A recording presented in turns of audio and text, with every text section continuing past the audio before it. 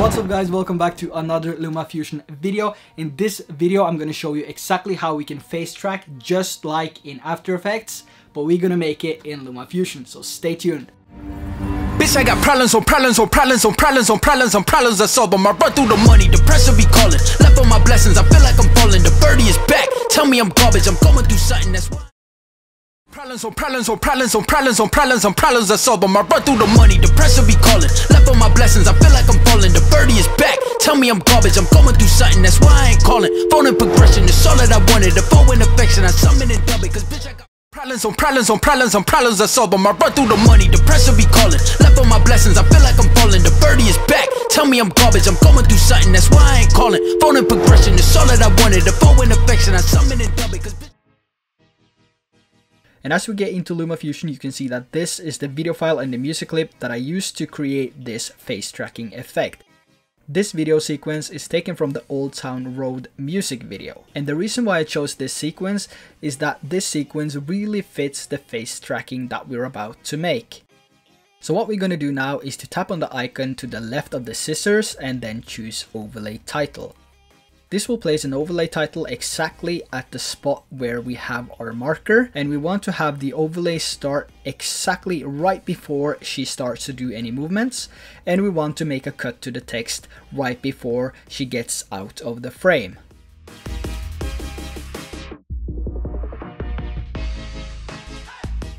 So once we've done the cutting parts, we can also make the main track into uh, three pieces as well, as you see here in this example. And this will allow us to only work with the parts of the video that we need to work on. The next thing we do is to go into edit on the text layer, and then we delete your text here.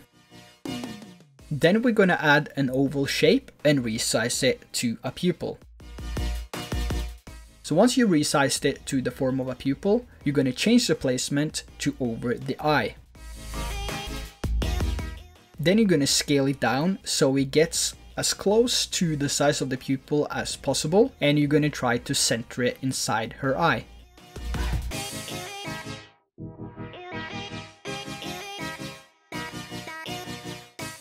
Make sure to take your time when placing the oval shape over her eye and also make sure that you're at the beginning of the clip. So once you place the oval shape over the eye, we're gonna go into edit on the main track. And here you need to make sure that your indicator is at the start of the clip. And what you're gonna do is to make a keyframe at the beginning and then move a couple of frames, like five, six frames, until the person really starts to do the movement, and then make another keyframe.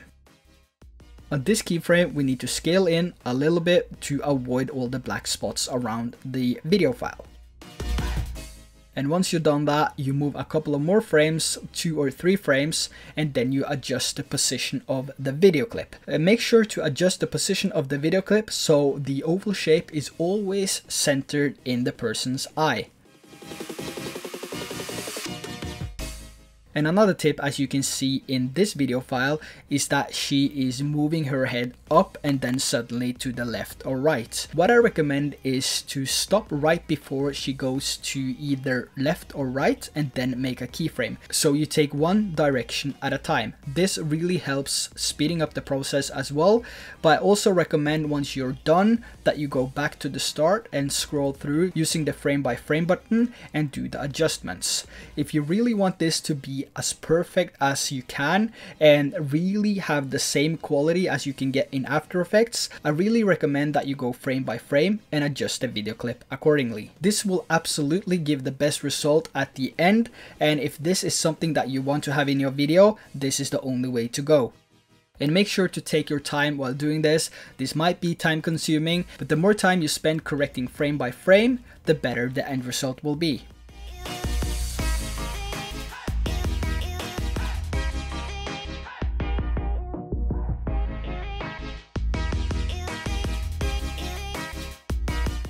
And once we start to close up on the keyframing, we can go out to the timeline and we can see how the effect turned out and if we're happy with the final result.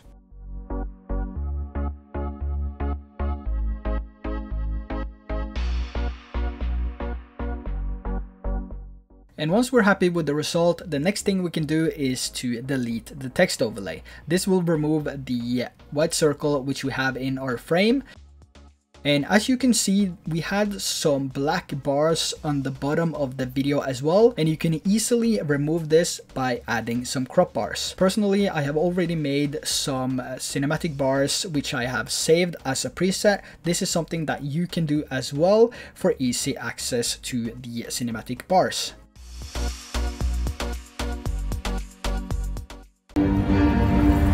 Bitch, I got problems on problems on problems on problems on problems on problems I solve them. I run through the money, the pressure be calling. Left on my blessings, I feel like I'm falling. The birdie is back. Tell me I'm garbage, I'm going through something, that's why.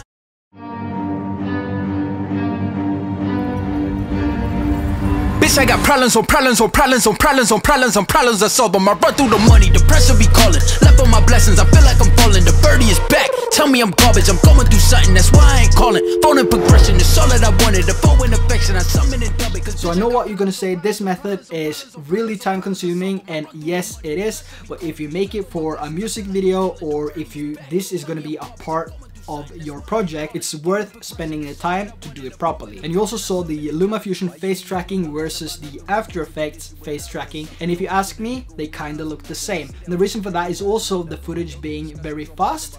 So the faster the footage is, the easier it might be to make in LumaFusion rather than After Effects because if it's super fast, you might have to do frame by frame in, in tracking in After Effects anyway. So if you have After Effects, go test it out, make one in uh, LumaFusion and take the same footage and make one in After Effects and you will see that it gets pretty similar and it does that with any shot as long as you do the keyframing properly in LumaFusion. So let me know what you think of this method and if it was too time consuming or if you will test it out or if you will use it in your video. And if you're going to use it in a video project, please email me the link to that project once that is uploaded to YouTube because I really want to see how you nailed this effect using LumaFusion. So that's it for this video. Don't forget to subscribe, smash that notification bell, give this video a big thumbs up if you liked it. And you can also share the video to show your support.